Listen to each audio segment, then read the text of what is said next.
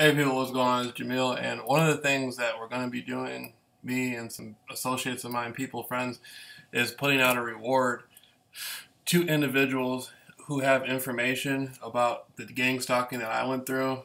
Um, you might you might have been approached in a lot of different ways by different people who participate in the same activity, and uh, there was a time when even all the like all the people I knew, like like friends, girlfriends all different sorts of people. And these people, like I remember, man, some of these people had warrants. Like one chick I was talking to, she had she was she had a warrant out for her arrest, and she was still being used while she had the warrant out for her arrest to do the gang stalking. Like one chick I know, she didn't even have a driver's license, and she was drunk half the time. And people were like contact. They started sending her messages through Facebook.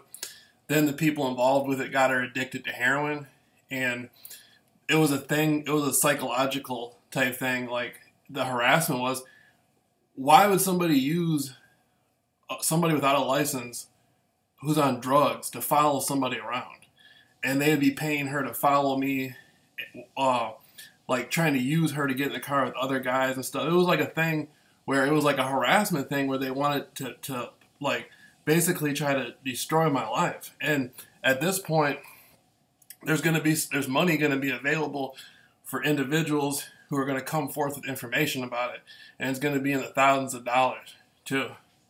So if people have information about the stalking harassment that happened to me, like even little pieces of information, like it doesn't matter what it is, there's going to be money available for people on that, and it's going to help.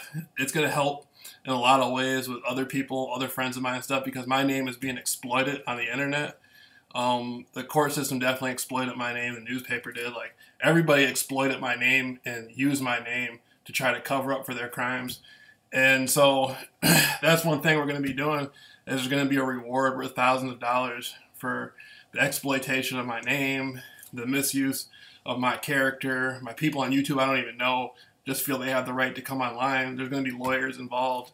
There's going to be paralegals involved. I'm going to be doing interviews with lawyers and stuff. It's going to be cool. So there's gonna be rewards. So if you're one of those individuals who have information about me being harassed and stalked, uh, you know, you can just hit me up and talk to me. And, you know, there's going to be money involved to, to pay people to figure out, you know, and if you have times and dates and, and any type of, you know, more proof and stuff, you know, so that's what we're going to be doing.